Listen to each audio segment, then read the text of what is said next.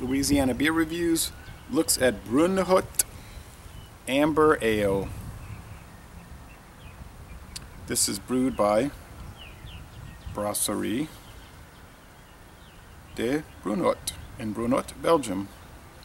Established in 1890 by the Allard family.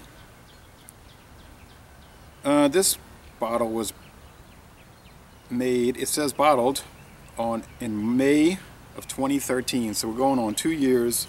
I don't think it's meant to be that aged. Um, I got a bad feeling about this. Glowing up. Um, I bought this at Acquistapace's, and they are like many bottle shops, beer stores, notorious for leaving stuff on the shelves forever. There are only three reviews on Beer Advocate, so not enough for us to score. Look at that. You might be able to see those bubbles. Um, Rate Beer has a few, uh, over 100 actually, but they're saying it's 38 out of 100 and 35 out of 100 for the style, so not too positive for our Belgian brown ale. Okay, pretty thick, um, kind of beige head and a murky, milky brown, light brown appearance with lots of streaming bubbles. Very fizzy. Almost like a soft drink.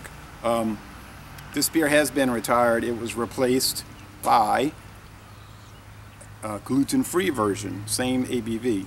Well, happy I'm not. I'm happy that I'm not reviewing that because gluten-free beers, I haven't been too. I haven't run across too many good ones. Um, the only one I can think of that tasted good was the Estrella Damm Estrella Damm Daura. Estrella Damm Daura. All the rest, um, mm -mm. I understand some people can't have the gluten, but those beers are not good. and this is the first video review for this beer in the world, and probably the last since it's been dis discode. It smells very caramel-like, sweet caramel bready.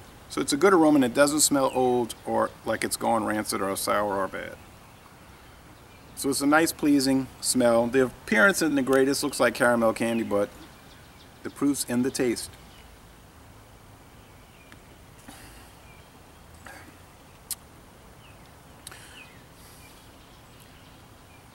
There's caramel.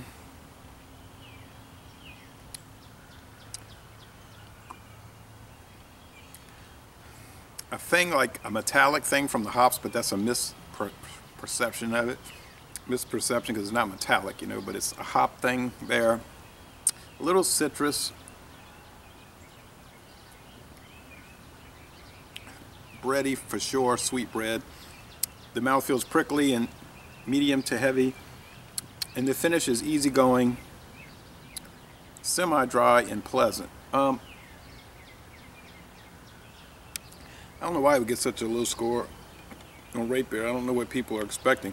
But then you'll read some of the reviews. I haven't read any yet, but my experience in the past is people will say, you know, they'll describe it maybe just like I'm describing it. Bready notes, uh, caramel, some sweetness.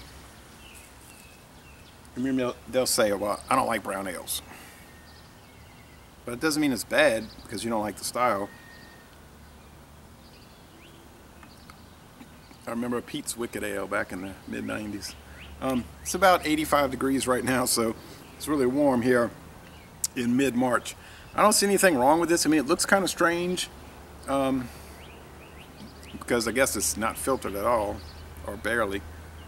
But it tastes really good, so If you like brown ales, check it out. Chances are, though, you'll never see it. But you might have a bottle shop, you know, a, a beer store in your area that will keep stuff on the shelf forever. So you could run across it. So, um, all right. How would I rate it? so carbonated. Well, considering I don't find anything wrong with it, you know, it's not the boldest or the most fantastic flavor, but it's certainly not bad in any way. I would say A minus. It's in the excellent, lower end of excellent, but it's in the excellent range, so this is the first I think I've ever had from this brewery, and I'd like to try some more. Maybe not the gluten-free ones, but the other ones. So, Laissez Les Le Bon Temps Roulé, an excellent beer, and I'm going to end this review by saying, y'all come on down to sunny New Orleans and go to a University of New Orleans baseball game. Go Privateers!